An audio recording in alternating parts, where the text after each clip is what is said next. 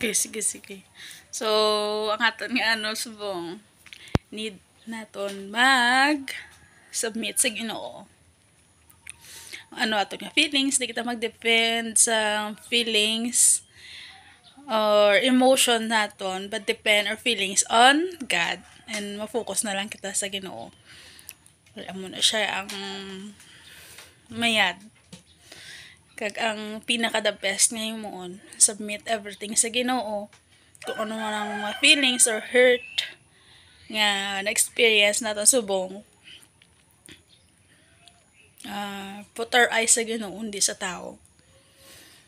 Ang ginambal sa kakot nga spiritual mother si Nanay Saip uh, Cyprus Ann Saldaheno siya ginang nagtudlo ka nag-guide sa ako sa tanan So, pinako ka, feeling ko pinako ka makasasala ang tao, but ara siya na-guide sa ako. Mga church members, church members, mga churchmates ko sa sir, simbahan, una. I remember, gina sila tanan. Ara, gina sila ya. Bisan, wala ko kabalo ko ano yung ko. Wala, wala ako, but ara, gina sila. Hindi ko gina sila yung malipatan niya bisan sa mga moments nga may mga problems ako, paano sila mag mag comfort, mag guide, mag help. Ara gina sila ya. Always.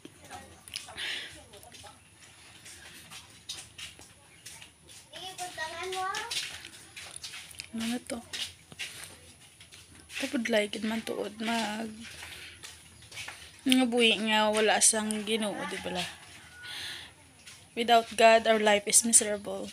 So, muna sa ano, may ginatay si Nanay Saiplikad nga mga verses.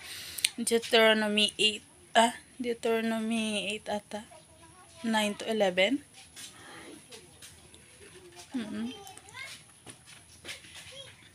Mm-hmm. Nablakis ang uh, providean. Kita rin ni Lord sa tanan-tanan nga ara-ara ng tanan-tanan.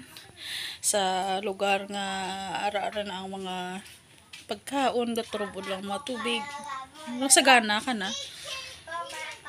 Ara na sa imong tanan. Pero maabot ka na ang time nga daw na sobrahan ka na sa kabuhi nga mo na, na experience mo. Malipatan mo ang ginoo but, but hindi mo dapat pagkalipatan ng Ginoo bisan sa mo nga moments.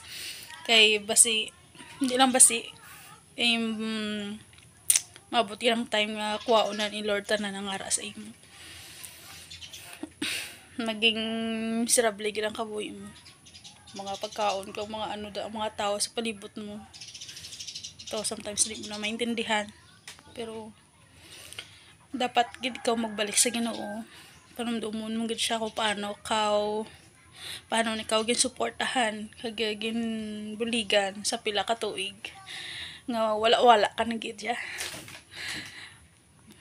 Umula na iyang na meditate ko. Kay salamat man sa verse nga to kay na do naduduman ko kabuhi ko nga amo sini.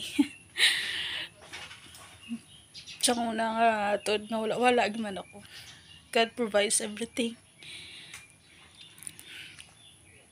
ginhatag na ang mga tao sa ako may pakilala na ako. Mga tao nga mga mayo mga mayad batasan. Mayad sa tanan. Si hindi kita lang gid mag-focus sa tao nga sa palibot naton mo lang gid na yang mambal ko. Ay kung mo-focus kita masakit lang kita. Mahard lang kita. Ma disappoint kita sa mga taong ara sa palibot nato kay hindi magid kita ko ano abi makasalig sa ila. Nga amo na tanan tanan ara sila but maabot nga ang time uh, ilaglag na kita. I sakitan na kita. Bisan tanan pagsalig na to sa ila never gid hindi gid kita masalig sa ila. Amo usually ang ginakuan kang tao di ba? Salig kita sa tao mo dya pero, ang salig mo balagin, ano na, gin gubaya. Yan muna siya moments naman sa life naton. kag budlay balik ang pagsalig pag nagbasag mabalik man siya pero hindi gid siya amo kasi na ka pag-on ka ka siyang pagpalang pwes man sa pagpalangga basta daw na agyan ka na. Sa bagay ni kumambal may tao ba kasi ang ah, napagyan ginaday ka gudo hindi gid ma although mabalik man ang ang amo sina nga relasyon pero do hindi sa amo sa una. Pero ang love gali love is kind. Lo- love is uh, naga ang pagpalangga nagaintindi ang pagpalangga. Tanan nagapatawad di pala. Um, basta pagpalangga ara ginadaya tanan pero may bala faith hope love. Kung wala ang pagpalangga wala sang hindi kita maintindihan na isa na tutulo hindi kita kapatawad hindi kita kapaumod kung wala sang love hindi kita ka yung abi ka bugno sa mga tao kung wala kita sa pagpalangga. Um, kana love is kind love is ang tawag na isang verse nga love is kind love is uh, ano harap na sa Bible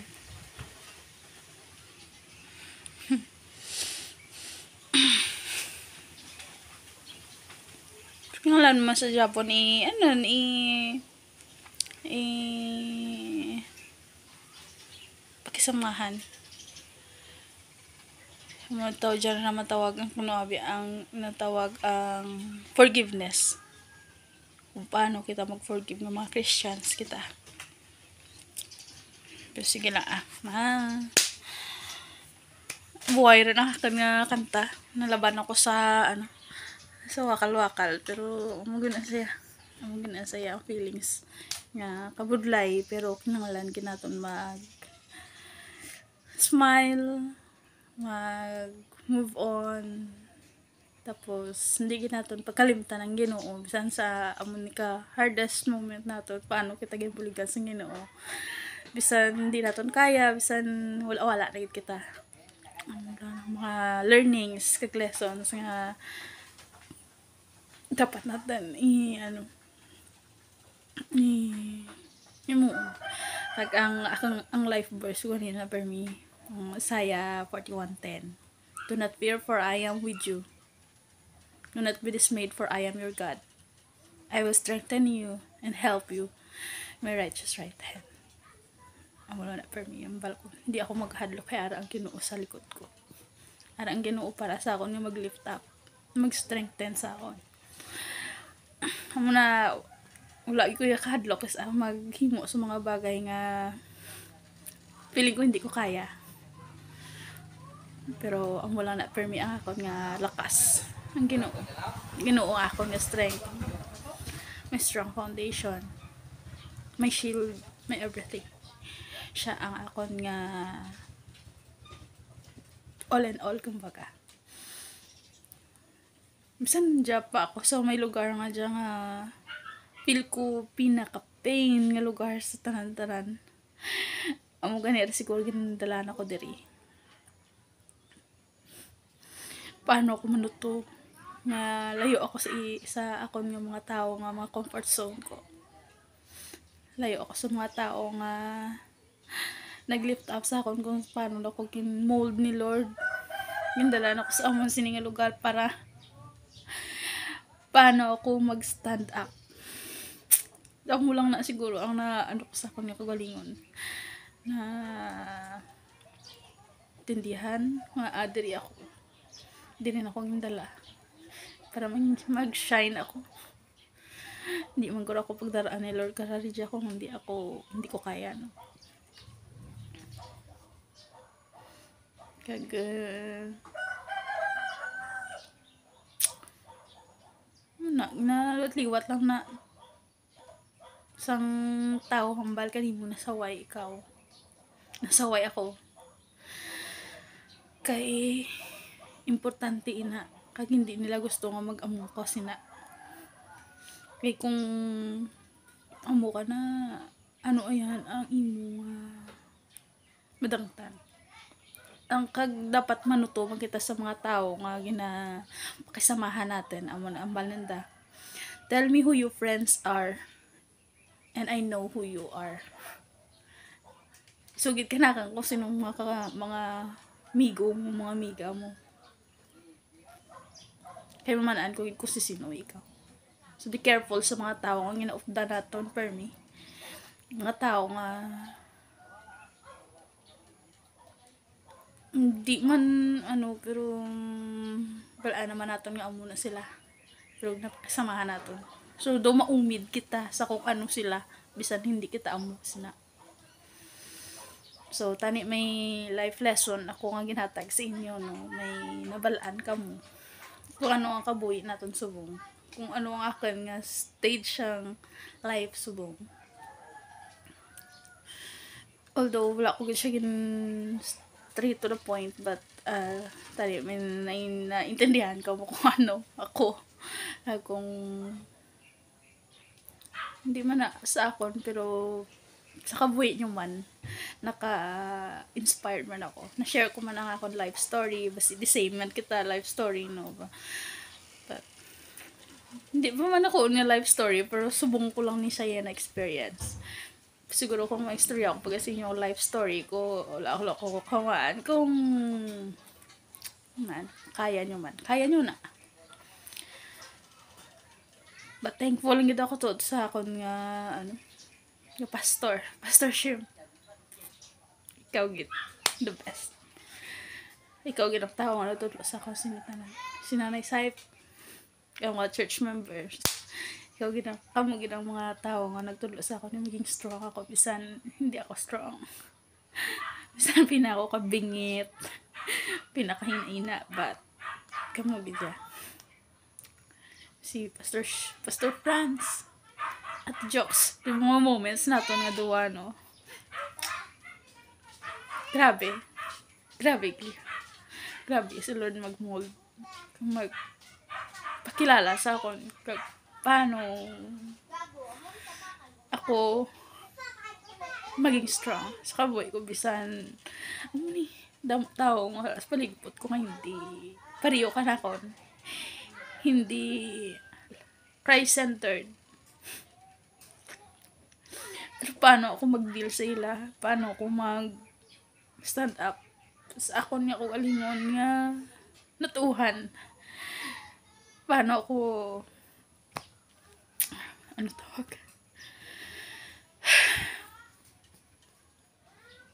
Paano ko pala nagkakusog sa pag-atubang sila? Because, kay God. Si God. Si God. Si God ko siya.